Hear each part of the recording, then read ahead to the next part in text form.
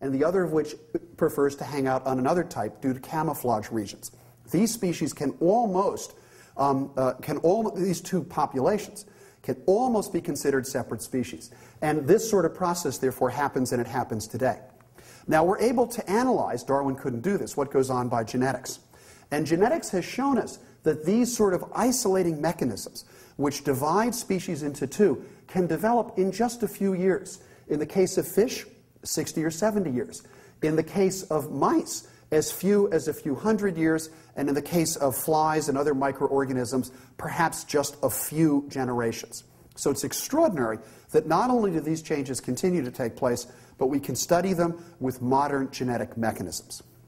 Now, these ideas have implications. And the implications are that we ought to be able to look at the fossil record and find a record of common ancestry. It turns out we can't. Um, we've known for years, for example, that swimming mammals like whales and dolphins have evolved from terrestrial mammals, and they did so about 80 or 90 million years ago. And it turns out that the oldest known living whale, called, uh, sorry, the oldest known fossil whale, um, up to about 20 years ago, which was called Basilosaurus, and this is a Basilosaurus skeleton, is remarkably transitional. It doesn't have a blowhole, it still breathes from the very tip of the nose. It actually has tiny little hind legs, or a pelvic girdle here, concealed inside the skeleton. So it clearly is an intermediate form, but a lot of people who might be critical of evolution might say, yeah, well, if this really happened, where are the intermediates? Well, that's a good question. It turns out that about 15 years ago, a group of investigators in the Middle East began to discover fossils that clearly were whale like fossils. And once they realized that this was where this evolutionary process took place, they began to look harder. And when they, look harder, when they looked harder, they found a series of fossils that were remarkably intermediate. Fossils that clearly were terrestrial organisms that had begun to adapt to the ocean. So, how many different species did they find? One or two to plug up the gaps? Well, no fewer than five. And recent estimates suggest perhaps a dozen or more. And we now understand in great detail how mammals made the transition back to the water and where modern whales and dolphins came from. And it's an evolutionary process that we understand, not completely, because we don't understand anything completely in science, but we certainly understand it well enough to know that evolution drove the change. And this sort of discovery occurs all the time. This is an article, April of this year, from the Wall Street Journal, pointing out that new discoveries continue to answer questions on evolutionary theory. And in this case, it was the spectacular discovery of an intermediate fossil in the Canadian Arctic that shows very clearly how, lobed, how the fins of lobed fin fishes evolved into the forelimbs of terrestrial or land dwelling vertebrates. So the intermediate forms continue to show up. And we can look at the fossil record anywhere and see examples of new species formation. Here, for example, is the development of a new species. It actually turns out to be a diatom by this process of diversification, exactly what Darwin suspected in the fossil record. And this species became increasingly diverse around three and a half million years ago, split into two. These two species went their separate ways. And as it turns out, they are both still with us today. So we see examples like this all the time. But if you're really passionately interested in evolution, you might say, well, you know, that's a diatom. I mean, nobody really cares about diatoms. Show me a species that I'm really interested in. So I figured I would do that today. What you see here is the fossil record of another species. Looks remarkably similar to the last one. And just like it, in this case, about two million years ago, it underwent a diversification. It split into two major lines. Um, they existed side by side for about a million years. Um, this one went extinct. This one continued to evolve, and what you see here is the size of a very important organ in all of these species. And as you can see, this guy is still with us to the present day. Now, I don't know if this looks familiar to you or not, but it should. And the reason for that is it's us.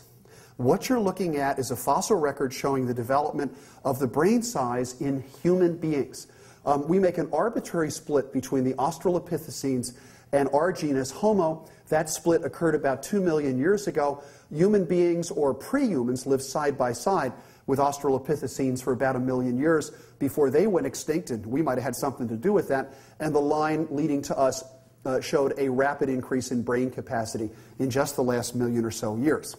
Many people who are critical of evolution literally refuse to believe that we have intermediate fossils that connect us to our pre-human ancestors, um, but we certainly do.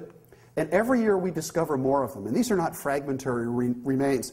These are not bits of a jawbone or a piece of a tooth. In many cases, they are complete skulls that show us a great deal about these individuals and a great deal about what they were capable of. One of these skulls was reported in the journal Nature several years ago. It's called Kenyanthropus, the guy on this side. And when I opened the issue of Nature, I saw um, a summary in the paper showing not just Kenyanthropus, which is right here, but showing all of the fossil species, who is related to whom or who we think is related to whom. Um, and these are species that lived in just the last five million years leading to us. And I opened this and I looked at this and I had one of those really weird moments. I looked at it and said, I've seen that before. Where have I seen it before?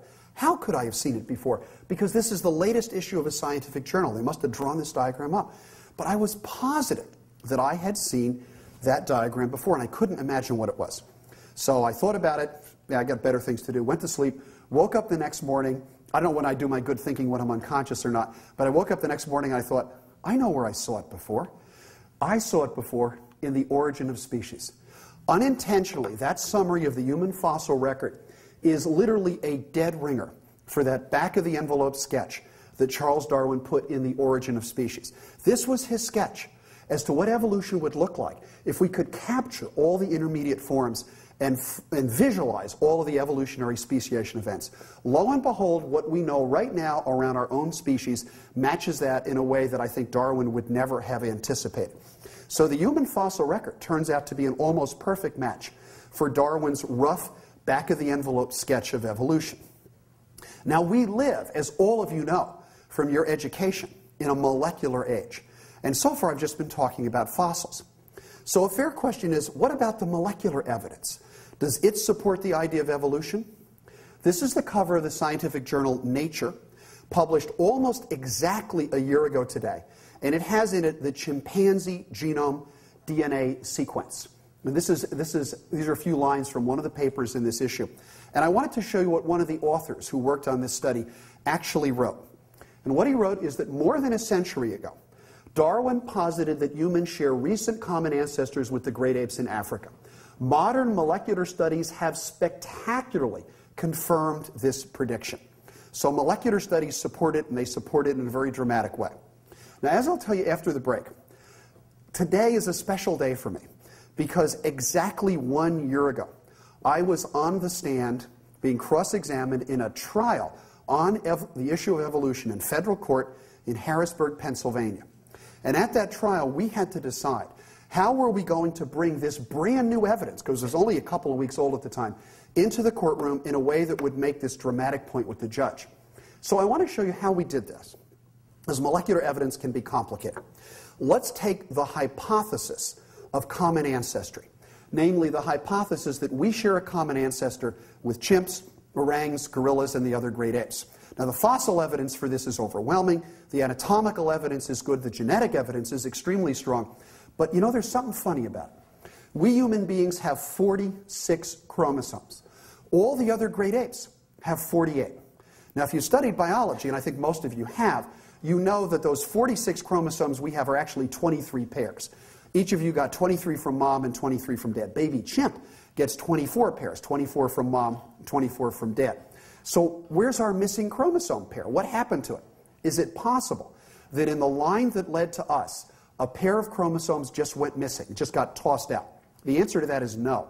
We know way too much about primate genetics. The loss of a whole chromosome pair would be fatal, be fatal in us, be fatal in gorilla, be fatal in the orangutan. You wouldn't even get past embryonic development if you lost all the genes on a whole chromosome.